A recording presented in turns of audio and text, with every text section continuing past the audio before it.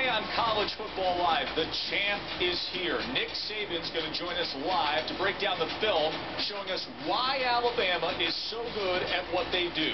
Plus, the full day and the buzz from ACC Media Days.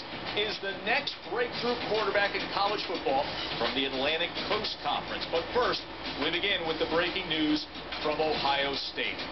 Carlos Hyde. The report came in that the starting running back has been dismissed from the team.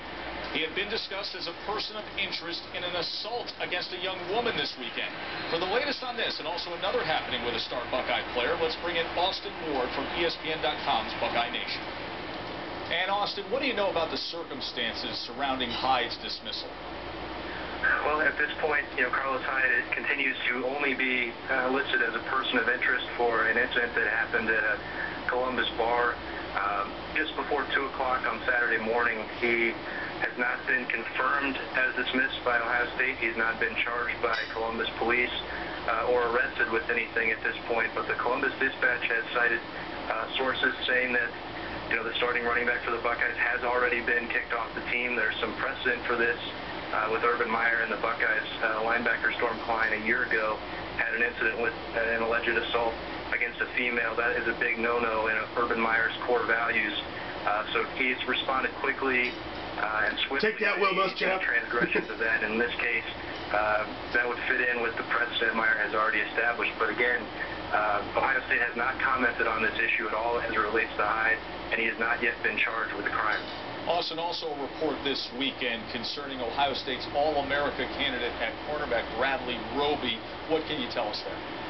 Yeah, Roby has been charged with a crime. He was uh, arrested at a bar over the weekend in Indiana.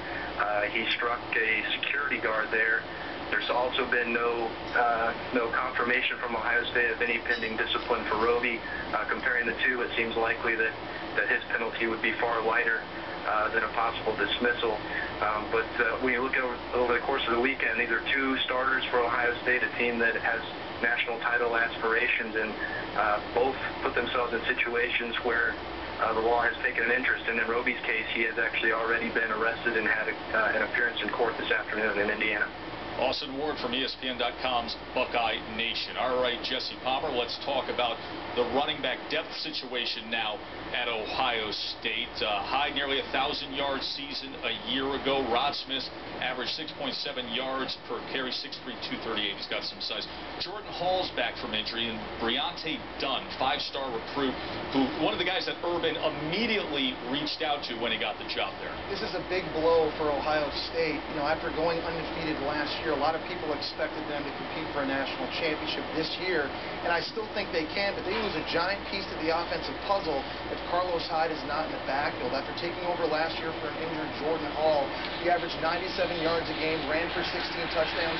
He was a great complement to quarterback Braxton Miller in the misdirection running game. Do that in zone reads, in the option game. He was excellent in short yardage and goal line, and he brought a physical presence to this offense. 235 pounds, running a sub 4 540. Now, I think the good news for Ohio State moving forward, you have one of the best running backs in the country playing quarterback in Braxton Miller. Jordan Hall, we know, is an outstanding dynamic playmaker in that Percy Harvin hybrid role, running back, wide receiver, and they have big running backs in their stable. You mentioned Rod Smith, Bri'onte Dunn, two guys that are at least six feet tall, 222 pounds. Urban Meyer has a tremendous track record in year two throughout his collegiate head coaching career. 34 and 4 in year two. Winning a national title Florida in 06, undefeated season at Utah.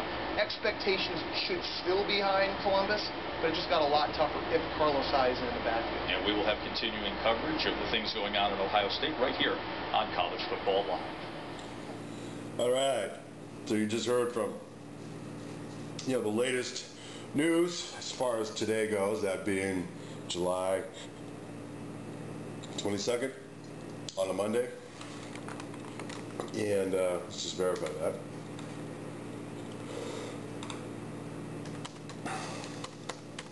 Going into talk radio version of the OMSR, I am your host, Will, the alternative BN Sports Thrill. I am keeping track of my days and dates, thank goodness. Okay, so in part one, this is uh, the baseline show. We always do a talk radio bit at the end. You've seen vestiges of 4.0 where uh, working out the bugs here. I, we, mostly I, few we's here and there, of working out the bugs in terms of taking the best parts of Gen 3.0 and putting it into 4.0. And part of that is you get the cool little musical intro, boom, right into the sports clip, boom, right into the post-event talk radio, talk show. So there's going to be some elements of, of all of that coming up when college football starts. Okay. Now, why do we bother to even do this? You know, I don't expect a whole lot of people to listen at this point. That's why I put the sporting clips first. Well, it's called the DMCA, the Digital Millennium Copyright Act. And basically, it covers, it gives you, as a producer, when you're needing to borrow others' content or want to, or if you do, we certainly rely on ESPN, by the way. All those highlights courtesy of ESPN, the NCAA, copyright too as well. All the other original content, concept, copyright to the OMSR. But you can do that. The DMCA covers, you know, fair use standard, minimal use, and derivatives. And by minimal use, we mean minimal. You know, that's what we do at the OMSR. This was vetted out and a cost-benefit ratio analysis performed, a feasibility study performed. It's because of this that the OMSR has been able to exist. Because we, I've always preached this statute, even back in Gen 1, which I took down and started over. Right, because I sort of got carried away there. Didn't follow my own rules, or the rules. It's not just my rules, it's the way it is. And, and like that. So, you see a 12-minute video, and actually I'm trying to keep these to 10 or less. It's not 10 minutes of a sports clip. I mean, the Good Ship Sports Clip Lollipop in that regard has sailed. YouTube's gotten way better at uh, allowing third-party content ID to sort of nip you in the bud if you go beyond that five, six minute mark, all right? That's all I'm saying. So save the comments for the actual sport event we're able to bring because it so beats your 30 second or a minute 15 bit clips that run around all over YouTube.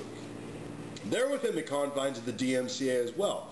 But they're just kind of throwing it up there to for their 15 minutes of fame. They being other YouTube users or slash competitors. This is a bona fide cohesive production that we try to put on for you.